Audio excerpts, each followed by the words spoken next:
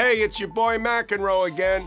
This is Devi Vishwakumar. She's a 15-year-old Indian American girl from Sherman Oaks, California, and it's her first day of sophomore year. And I am legendary tennis player John McEnroe.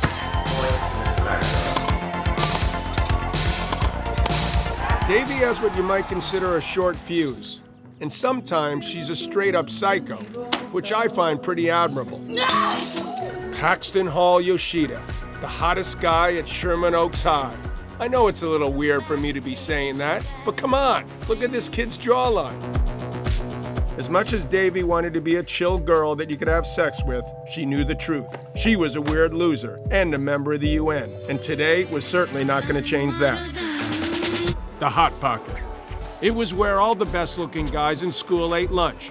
We're talking Marcus Jones. We're talking Eddie Tan. Hell, we're talking Trent Harrison. But Devi was determined.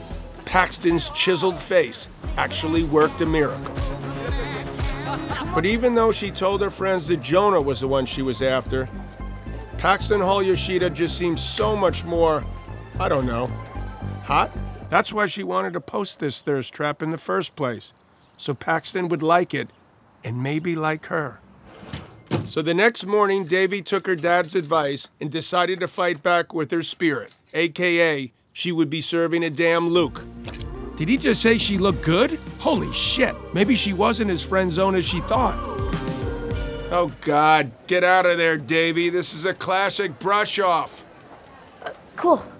Well, this certainly was not the walk of shame Devi was hoping for. Oh, you finally figured out you're a Gryffindor like me? No, I'm obviously Ravenclaw like Eleanor. They're all Hufflepuff. So Devi was grounded and forced to become a house servant. Currently, she was on ironing duty.